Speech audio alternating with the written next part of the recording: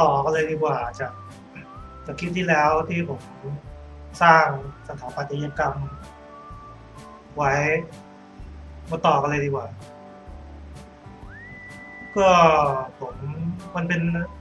อันนี้ผมจะทำ JD line ลักษณะของ JD line ก็คือตามภาพเลยนะตามวิดีโอเลยทำ JD วิธีทำ JD ก็ตามนี้เลย สร้างคล้ายๆแบบเดิม หรือสร้างด้านด้านรูปด้านแปลนขึ้นมาก่อนพอแปลนเสร็จก็ทำฐาน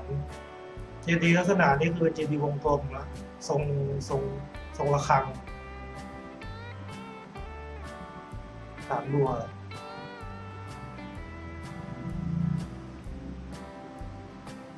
ทำแบบเดิมครับเหมือนเดิมทุกอย่างง่ายๆคือคลิปที่แล้วพอพอจะเห็นอะไรได้บ้างนะว่าว่ามันควรจะเป็นยังไง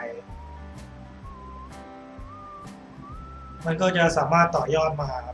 เป็นคลิปนี้ได้ แล้วคือเดี๋ยวเดี๋ยวเดี๋ยวผมจะทำอธิบาย วิธีทำพวก JD พวกฐานย่อมุมอะไรพวกนี้เฉพาะเฉพาะคลิปอีกทีหนึ่งเพราะว่าคลิปนี้มันค่อนข้างเร็ว แล้วคือผมผมไม่ได้แยกย่อยไว้นะว่าวิธีทำมันมันเป็นยังไง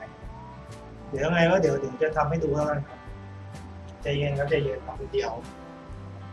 ทำคนเดียวตัดต่อเองทำทำทำนี่อะไรเองหมดเลย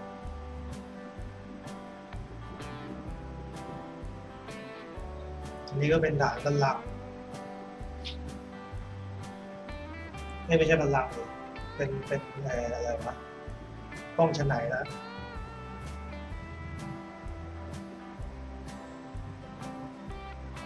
ซ้อนขึ้นไปซ้อนขึ้นไปกี่ชั้นก็ว่าไป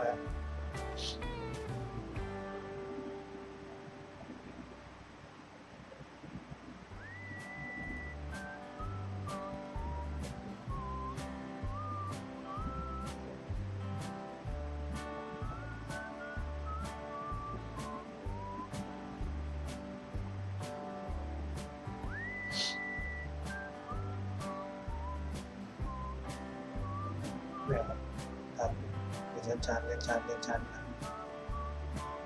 ใส่วอลลุ่มนิดนึงให้มันดูโค้งๆมันมนสวย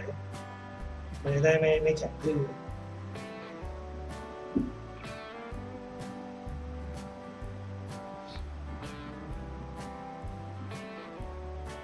นี่ก็ม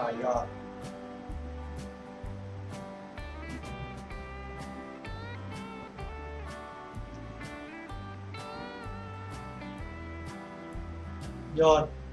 ยอดบัว ให้มันตุ่มๆมันมนนิดนึงจะได้สวยๆ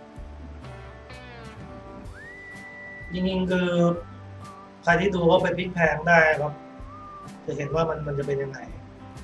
เราก็ตัดออกให้มันเหลือแต่ฟอร์มด้านด้านข้างแล้วก็ใช้เครื่องมือ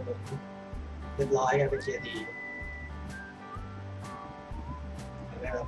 เปิดเลเยอร์ขึ้นมาได้แล้วเจดีหนึ่งองค์ แล้วก็ก๊อปปี้วางเป็นเจดีย์ลายรอบๆสี่ทิศจะตัวรูปมหาเจดีย์มหาปลาไหลรัวๆมาบางพอเมื่อคิดอะไรมากไม่ไม่มีผมผมไม่ได้ทำให้มันถูกต้องอะไรครับคือผมผมอยากทำอยากลองดูอยากลองลองเทสเครื่องมือทูในไอโปรแกรมดูว่าว่ามันจะมาทำอะไรได้บ้างจริงๆวิธีการคือ มองหาใน Google ก็ได้ครับเอ้ YouTube อะมันจะฝรั่งมันจะทำสอนไอ้วิธีทำไปเยอะ เราก็ไปแอพพลายไปยุกใช้เอา นี่คือผมผมก็ดูฝรั่งมาแล้วก็มาทำมาลองไปยุกใช้ดู คือมันพวกพวกฝรั่งมันจะไม่บอกอะไรตรงๆนะคือมันจะทำให้ดูคล้ายๆอย่างเงี้ยนะแล้วเราก็มาแอพพลายเอาบางทีก็ต้องต้องสร้างสรรค์เนี่ยนะศิลปะคือการสร้างสรรค์นะถ้าคุณไม่ ถ้าคุณไม่รู้จักการสร้างสรรค์ก็คุณก็จะแค่เป็นช่างลอกแบบลอกไปลอกมาลอกลอกกันเป็นกันชาติอยู่นะสร้างสรรค์ไม่เป็น ไม่รู้จักการสร้างสรรค์แล้วบางทีการสร้างสรรค์กับการการการอนุรักษ์พวกนี้คือมันมันจะตีกันนะมันเป็นคนละทางกันทางใครทางมันมักจะไม่ค่อยถูกกันแอนตี้กันคือผมผมทำงานด้านนี้ก็คือผมผมจะเห็นประจักษ์นะ ว่าในระหว่างการสร้างสรรค์กับการอนุรักษ์เนี่ยคือมันไปได้กันค่อนข้างยาก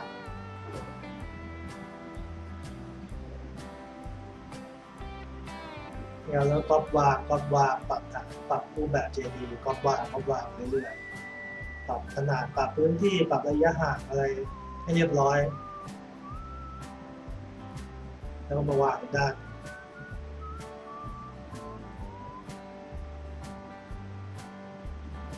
คือทำช่วงนี้มันจะไม่ค่อยน่าเบื่อเพราะมันมันเริ่มสนุกแล้วมันเริ่มเห็นเป็นรูปเป็นร่างแล้วนะคือถ้าทำแรกๆตั้งแต่ฐานมันเนี่ยคือ มันจะน่าเบื่อนิดนึงก็ต้องอาศัยความอดทนหน่อยครับก็อีกด้านหนึงวางไว้อีกด้าน มันทำให้งานเร็วขึ้นนะครับ เป็นจตุรมุกก็เจดีไลน์จตุรมุก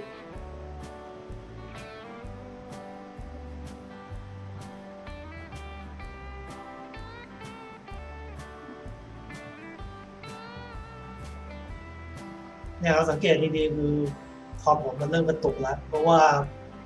สเปคมันต่ำกันแต่ทำงานในอะไรที่มันเป็นเอ่อ object เยอะๆอย่างเงี้ยคือมันมันจะเป็นอย่างเงี้ยแหละ แต่ถ้าคอมดีๆแรมสูงมีการ์ดจอมี CPU ดีๆคอไอคอไอห้าไอไอเจ็ดแล้วตรงเนี้ยมันก็จะ มันก็จะคิดว่าไม่น่าจะไป ไม่น่าจะมีปัญหาแบบนี้นะครับคือผมผมไม่รู้เหมือนกันนะ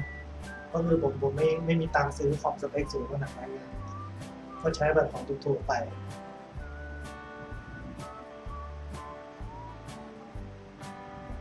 นี่เราเจออีกลาย หลายรอบมั่วมากเลย แต่มันดีสนุกคือได้ได้ได้ได้ทดลองเครื่องมือว่ามันควรจะเป็นยังไงครับ เสร็จแล้วกรอบวางกรอบวางพื้นพื้นนะพื้นฐาน ง่ายๆก็วางสลับซ้ายสลับขวาย่อขยายคือมันมันจะเป็นอะไรที่พื้นฐานมากเลยสำหรับสเก็ตอัพคือใครใครที่เริ่มเริ่มใหม่ๆคือไปไปหัดไปหัดลากเส้นทำวงกลมทำทำทรงกระบอกอะไรให้เป็นก่อนนะแล้วเราเราเราก็จะรู้จังหวะเองนะก็ก็วางก็วางให้เป็นจตุรมุข พื้นฐานนี่นี่สำคัญมากนะครับแล้วอย่างพื้นฐานอีกอย่างก็คือขาดไม่ได้ก็คือคุณต้องมีความรู้ในในเรื่องราวของสถาปัตยกรรมแบบแบบเก่าบ้าง ว่ามันควรจะเป็นยังไงคุณถึงจะสามารถมาแอพพลายได้เพราะถ้าคุณไม่มีความรู้แบบ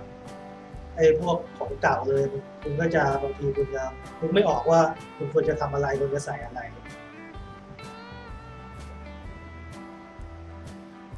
ยิ่งผมผมไม่ใช่อาจารย์ก็คือผมผมไม่เคยสอนนะคือผมแค่แนะนำได้ไม่ต้องเรียกผมอาจารย์ก็ได้ผมเป็นอาร์ติส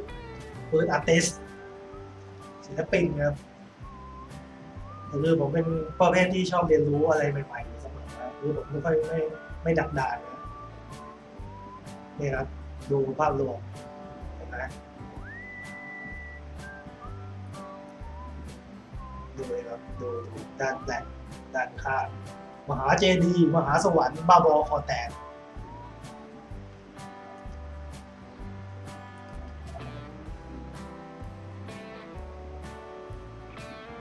เนี่ยครับมหาเจดีย์บ้าบอคอแตกนี่ก็ลงสีดีกว่ามีลงสีเจดีย์อันนี้ผมแยกเป็นสาม layer นะ layer แรกคือฐาน layer สองก็คือเอ่อยอดเอ่อยอดยอดปราสาท layer สามก็คือไอตัว JD ลายทั้งหลายคือต้องแยก layer ไม่งั้นไม่งั้นงง ถ้าไม่งงเครื่องมันก็รวน เพราะมันเยอะนะแล้วปรับสี JD สีทองทองๆหน่อยแล้วก็ถาม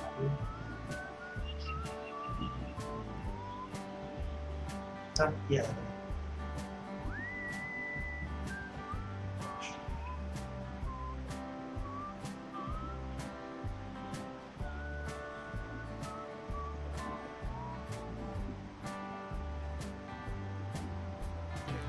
เล่นหลายหลายสี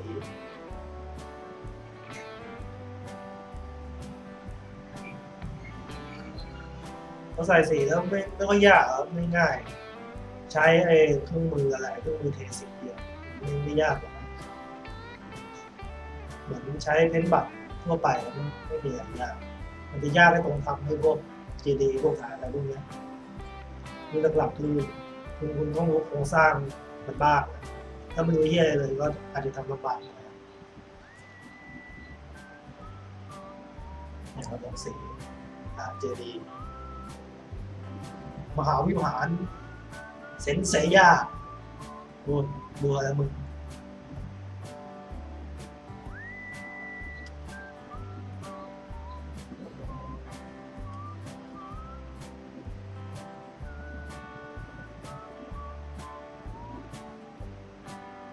ทำทำนี้ก็ไป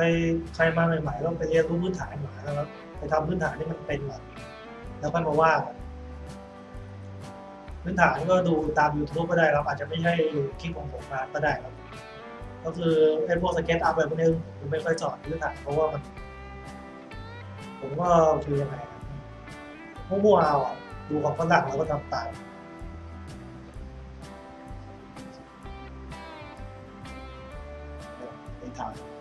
ยอดซุ้มยอดประสาทหรือหรืออะไรหรืออะไรก็ช่างแม่งเลยไม่เรียกไปอย่างนั้นนะไม่รู้แม่งเรียกว่าอะไร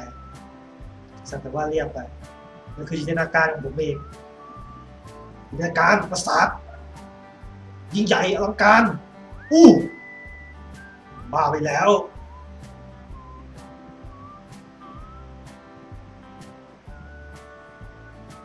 เนี่ยครับอาร์ติสเอิร์ธอาร์ติส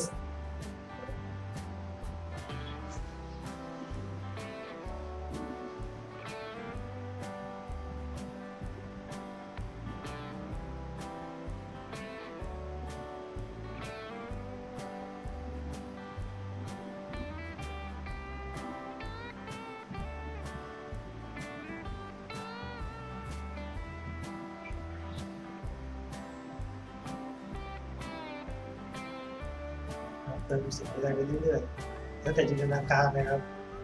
ไม่มีผิดไม่มีถูกครับ เรื่องของกูจำได้เลยศิลปะเป็นเรื่องของกูกูอยากทำอะไรกูก็ทำอย่าไปสอนว่าใครจะวิจารณ์เราต้องเป็นศิลปินอาร์ติสต้องเป็นรุ่นใหญ่รุ่นใหญ่ไม่ได้มันก็กระจอกคนอื่นทำได้เราก็ต้องทำได้ครับ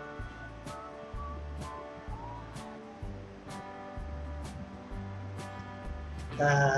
ถ้าคนเข้าไปเรียนในระบบโรงเรียนหรือมหาวิทยาลัยที่นี้ก็ทำตามครูไปก่อนครับทำตามอาจารย์ไปก่อนแล้วแล้วค่อยไปหาความเป็นตัวตนตัวเองช่วงระหว่างการเรียนก็คืออย่าไปเป็นติสมากครับไม่งั้นคุณจะโดนรังเกียจจากบรรดาจากบรรดาครูอาจารย์ทั้งหลายเพราะเขาไม่เขาเอ่อครูอาจารย์คนนี้เขาเขาเป็นครูเขาเป็นอาจารย์แล้วเขาคือเขาไม่ชอบให้ใครแบบ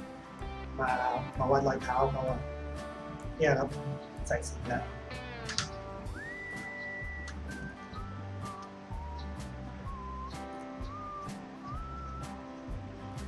นี่มาถึงวันสุดท้ายน่าจะท้ายแล้วคือผมก็ ลองอะไรไปเรื่อยเปื่อยนะถ้าจบอันนี้ก็คือไม่ทำอะไรขี้เกียจลองเล่นอะไรไปเรื่อยๆทำให้มันเป็นแบบอภิมหาบ้าบอคอแตก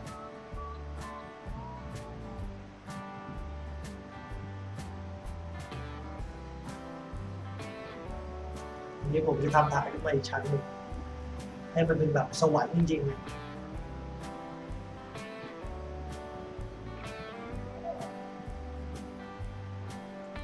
ที่ให้จินตนาการครับศิลปะคือการสร้างสรรค์ไม่ใช่การลอกแบบดูการแต่ง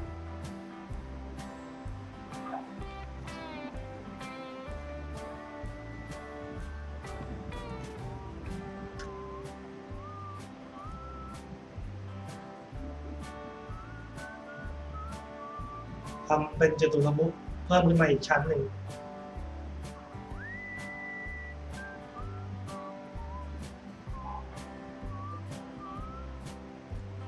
ลองทำไปเรื่อยๆครับคือมันไม่ผมไม่มีหลักการอะไรคือคือผมอยากลองทำอยากรู้ว่าทำแบบนี้แล้วจะเป็นยังไง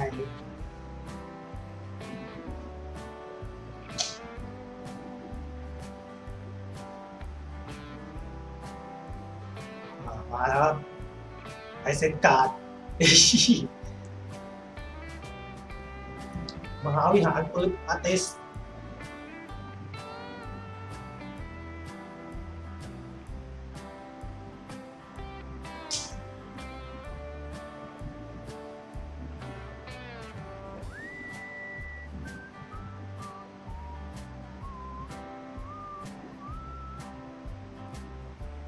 นี่ก็ทำบันไดดีกว่ารับวางรับวางรับวางนี่เป็นขั้นบันไดนะครับมีวิธีทำให้มันเร็วๆแต่ผมว่าวิธีนี้เร็วสุดแล้ววิธีทำบันได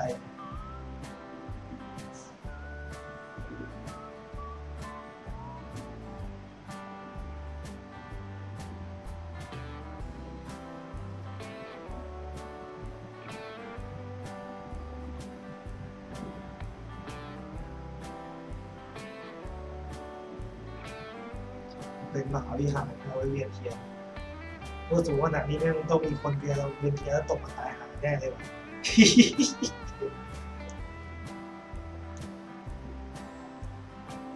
เนี่ยเรามาแล้วบันไดจัดเลยเต็มที่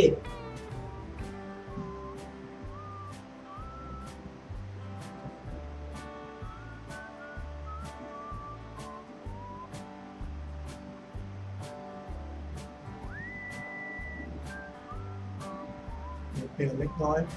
รู้สึกที่มันจะไม่พื้นที่มันจะไม่ค่อยมีแล้วก็ไม่ค่อยสวยได้ยาวเลยเป็นระเบียงมุกอะไรก็ว่าไป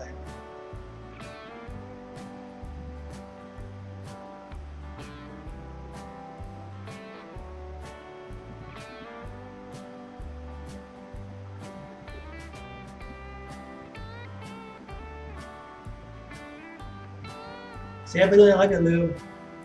เวลาทำอะไรที่แม่งเยอะๆอย่างเงี้ยคือขยันเซฟไว้หน่อย ถ้าไม่เซฟแล้วเดี๋ยวถ้าเครื่องแม่งแฮงขึ้นมาคุณจะเสียใจภายหลังแล้วต้องต้องทำใหม่ แต่จากประสบการณ์การทำพวกเนี้ยคือผมบอกได้กล้าพูดเลยว่า ถ้าทำครั้งที่สองอะมันจะสวยกว่าครั้งแรกแล้วมันจะดีกว่าครั้งแรกครับ มันอาจจะเซ็งๆ นิดนึงในช่วงแรกๆแต่ก็มันจะรู้สึกดีครับเวลาได้เห็นงานที่มันดีขึ้น อันนี้จริงๆนะ ไม่ได้โกหกแต่ก็แล้วแต่คนด้วยนะครับบางคนอาจจะเบื่อเซ็งไม่อยากทำแม่งเลยก็ก็มี แต่ของของผมก็มันก็มีครับอารมณ์เบื่ออารมณ์เซ็งเวลาเครื่องแม่งแฮงแล้วงานหายเนี่ยหรือฮาดิสเจ๊งแล้วงานหายคือมันมีบ้างอารมณ์เบื่อเบื่อต้องอาศัยเวลานิดนึง ทำใจแล้วก็ทำใหม่ แล้วทุกอย่างก็จะดีเลย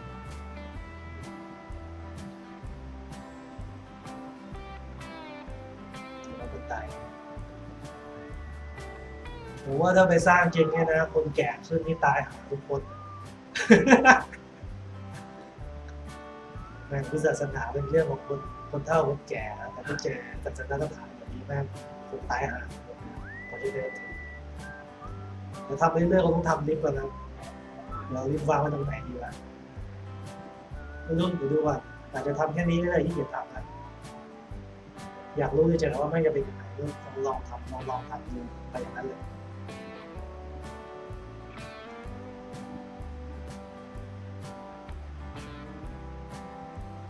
อย่าลืมนะครับอย่าลืมก็ถูกใจไม่ถูกใจไงก็ซับสไครต์ไว้หน่อยกดติดตามไว้ คือผมจะทำไอ้คลิปบ้าบอพวกนี้ลงไปเรื่อยๆมันเป็นคลิปการทดลองทางศิลปะเรื่อยง่ายๆคือมันไม่มีหลักการคือผมก็อยากทดลองอะไรไปเรื่อยๆอยากรู้ว่าว่าว่าแม่งจะเป็นยังไง